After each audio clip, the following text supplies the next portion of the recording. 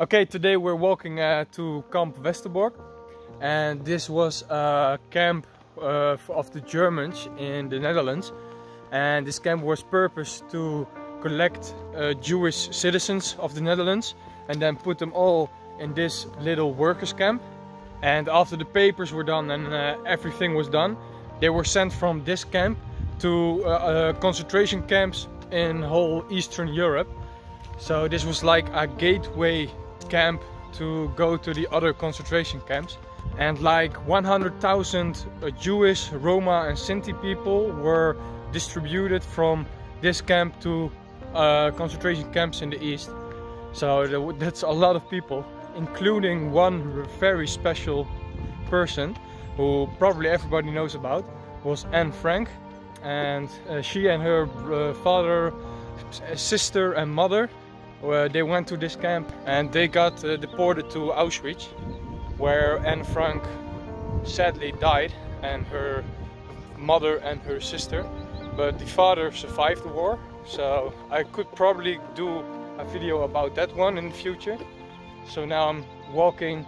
It's like a 30 minute walk from the car all the way to the camp because look at my surrounding. It's all forest. And look at this. These are satellites a lot of them and those are big ones. Next to the camp well next to in the same forest.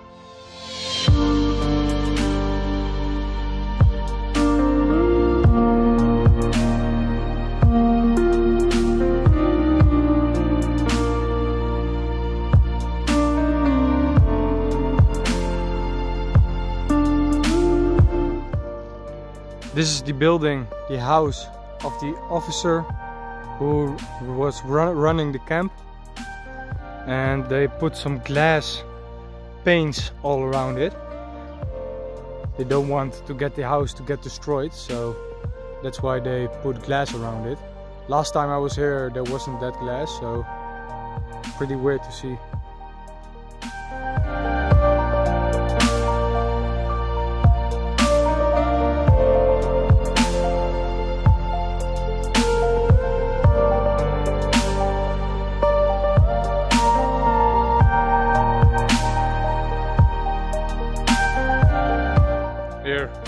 all these little hills like this.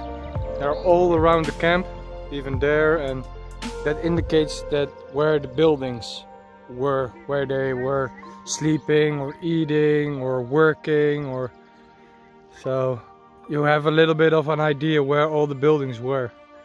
You can see it on this picture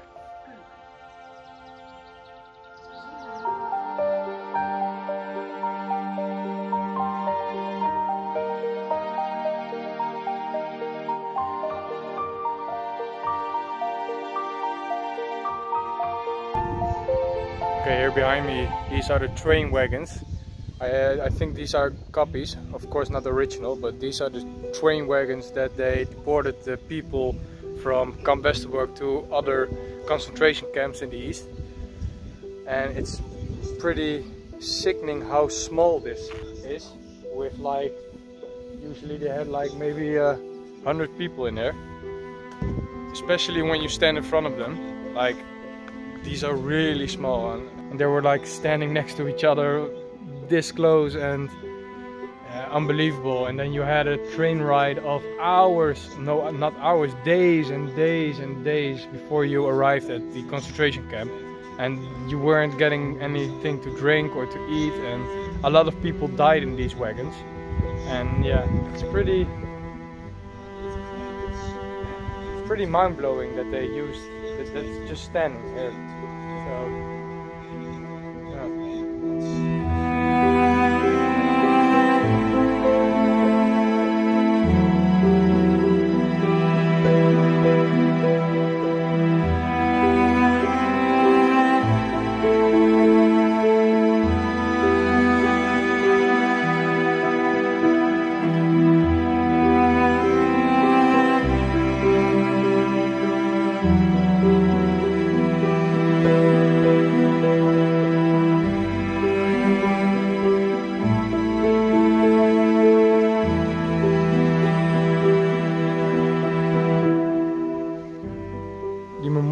itself.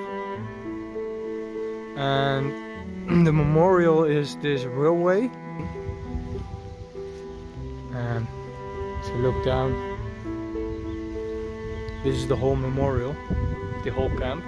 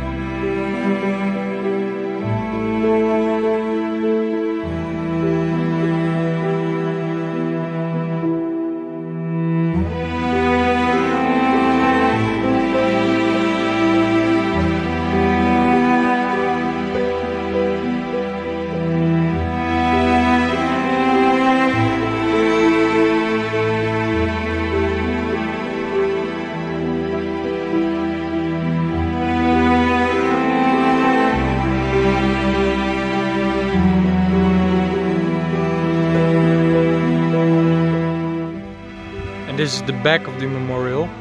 I don't know how to pronounce this in English, but I will call it train stopper. so this train stopper, uh, of course this one is not original.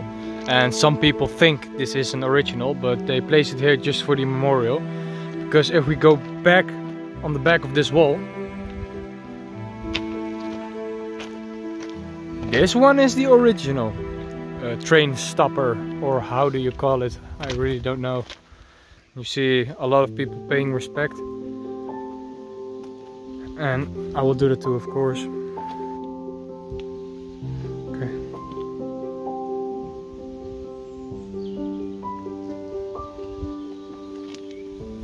Yeah, this camp is just so big. If you're standing here and you're trying to realize what happened here, uh, I'm gonna be honest, it's just not possible because there are so many stories of people who were here and what they have been through and yeah.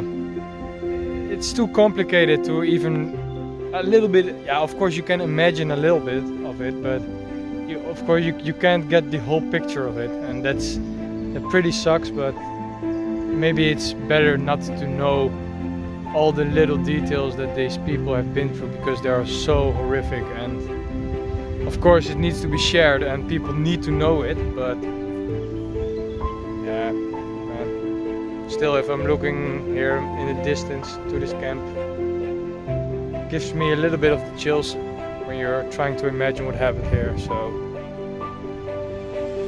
you can't imagine that you that you're just home with your family and then you get kicked out of your home and then you need to go to a, to a camp to labor for people who you don't even know or other country what's it's not your country and it's yeah. And then after all the hard work you're doing and listening to the people you get deported to a concentration camp in the east and you have to sit in in a train for days and days with no food no water and just a bucket to shit in and people dying around you and the smell and the stench and horrific horrific conditions man. Horrific can't imagine that.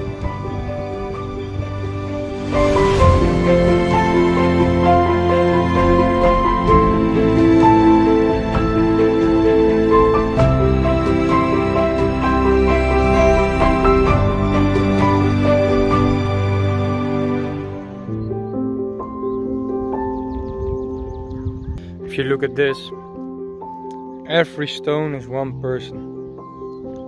Every stone with a star and all these stones are laying in a pattern and that pattern shows of the Dutch country. So I will you can see that here. So all these little stars are one person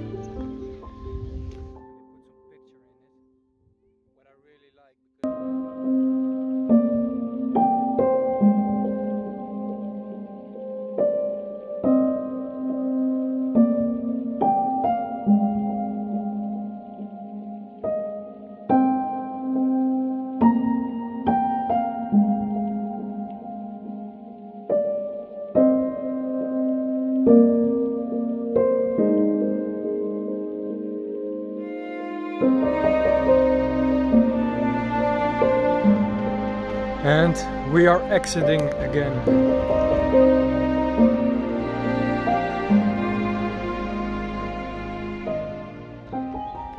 Okay guys, I'm walking back to the car now and to the museum.